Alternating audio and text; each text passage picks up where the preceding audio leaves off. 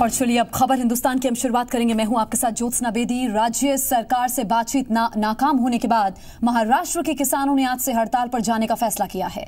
किसानों ने फैसला किया कि वो बाज़ार में सब्ज़ी और दूध नहीं बेचेंगे। उनका दावा है कि हड़ताल की वजह से एग्रीकल्चर प्रोडक्ट शहरों तक नहीं पहुँच सकेंगे। और इसके साथ ही सतारा में किसानों ने दूध सड़क पर फेंक दिया है। किसानों ने मुंबई की तरफ़ आने वाले दूध सब्जियों और दूसरे ज़रूरी सामानों की गाड़ियों को अपने मतलब आगे बढ़ने से रोक दिया है। हालात ये हैं कि जिन इलाकों से ये सामान वहाँ की मंडियों में आया करते थे, उन इलाकों की मंडियों में ना के बराबर लोग आए हुए हैं। राज्य के अहमदनगर, नासिक येवला में किसानों ने सड़कों पर ही दूध को फेंक दिया है। तस्वीरें आप देख। रहे हैं सड़क पर ये किसान उतर आए और अब किस कदर दूध की बर्बादी की जा रही है, आप अंदाज़ा लगा सकते हैं। किसानों ने हड़ताल पर जाने का फैसला किया है। कुछ मांगों पर ये महाराष्ट्र के किसान अड़े हुए हैं। देवेंद्र फडणवीस से बात हो चुकी है, लेकिन नतीजा निकलकर सामने कुछ नहीं आया है, जिस वजह से इनकी मांगे पूरी नहीं हो पा रही हैं और अब आज से इन्होंने हड़ताल पर जाने का फैसला किया है। तस्वीरें आपके सामने हैं।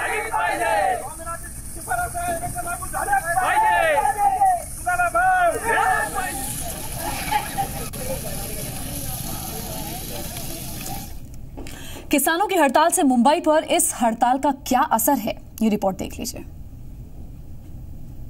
कर्ज माफ़ी को लेकर महाराष्ट्र के किसान पूरे राज्य में हड़ताल कर रहे हैं। आपको बता दें, इस वक्त हम मुंबई के दादर सब्ज़ी मंडी में हैं। किसानों की ये मांग है कि उन्हें जो है उनके उत्पाद का उचित मूल्य मिले, कर्ज माफ़ी हो। आप देख सकते हैं आज यहाँ जो है सब्ज़ियाँ आई हुई है लेकिन जिस तरीके से देखा गया है कि आज जो है हड़ताल की गई है तो ऐसे में इसका कल जो है वो असर देखने को मिलेगा। इस वक्त हमारे साथ एक सब्ज़ी विक्रेता है सीधा मुनि से जानते हैं। जी ये बताइए आज तो कोई खासा असर नहीं दिख रहा लेकिन कल असर देखने को मिलेगा। कल बहुत बड़ा असर होएगा। कल सब्ज़ी एकदम कम आएगा। दाम भी बढ़ सकते हैं। भी बढ़ेगा। आपको बता दें, इस मसले पर किसानों और सरकार के बीच मीटिंग हुई, सीएम के साथ भी मीटिंग हुई, लेकिन किसानों का कहना है कि उन्हें कोई ठोस आश्वासन नहीं मिला और वे चाहते हैं कि उनकी कर्ज जो है वो माफ़ किया जाए, क्योंकि उन्हें दिक्कतों का सामना करना पड़ रहा है। ऐसे में अगर कोई बीच का रास्ता नहीं निकलता है तो आपको बता दें, जिस तरीके से देखा गया है कि दूध और सब्ज़ी जो मार्केट में भेजा जाता था, अब वो बंद कर दिया गया है। तो अब ऐसे में कल इसका जो है खासा असर देख देखने को मिलेगा।